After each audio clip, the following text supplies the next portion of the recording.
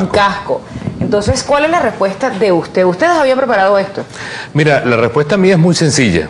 Primero que la, violencia la origina, la encarna y, y la inicia Diosdado Cabello.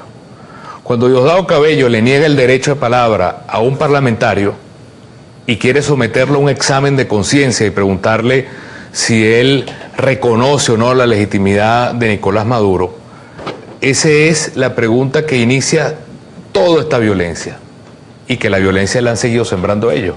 Porque él no es quien, él no es nadie para poder someter un examen a ningún diputado.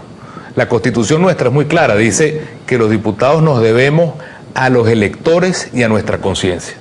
Es decir, otro diputado no te puede preguntar, mira, para poder hablar y representar al país, tú tienes que decirme si crees en Dios o no, si tú crees que hay que legalizar las drogas o no, si tú crees que eh, Nicolás Maduro es buen o mal presidente. Eso es un exabrupto que no en el mundo entero, en el universo entero, en Plutón, en Júpiter, debe haber un escándalo sideral por lo que significa someter a un parlamentario a un examen. Yo he hecho un reto el día de hoy del Valle Ismael.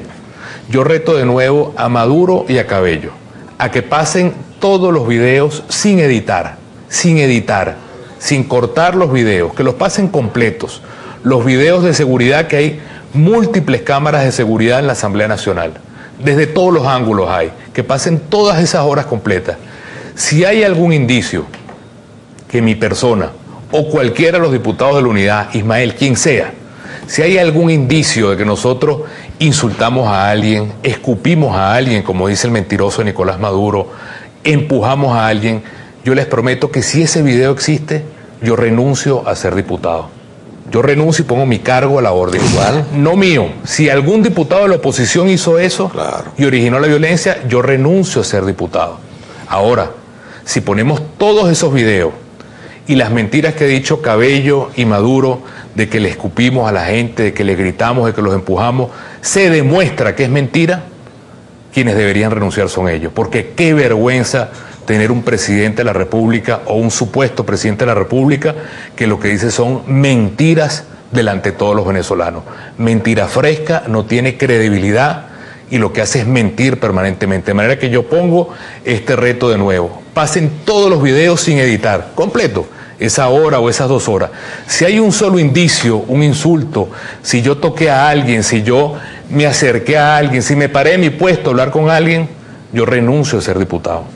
Pero si es mentira, que renuncien ellos entonces, porque el país no merece ni a un presidente de la Asamblea, y mucho menos a alguien que dice ser presidente de la República mintiendo como lo está mintiendo. Un presidente que no tiene control. Ayer llama al embajador de Perú, viene el tipo de Perú, yo creo que ni almorzó, se devuelve a Perú el embajador de nuevo, inventa que Uribe lo quiere matar, califica de una vez el tema del periodista de la cadena, de, de la cadena Capriles, eh, mete a Enrique eh, culpándolo de cualquier mal del país. Antonio Ledesma también. Antonio Ledesma, que por Dios, qué payasada tan grande. Un país que tiene la crisis económica más grande de los últimos años y en lugar de convocar al país para ver cómo se puede lograr salir de este hueco, va profundizando las heridas, la división, las mentiras. De manera que ese es un tema. Y el segundo tema del Valle, y que lo quiero subrayar porque me parece crucial, es que yo me monto desde ya en una cruzada para que los medios vuelvan a entrar al hemiciclo de diputados.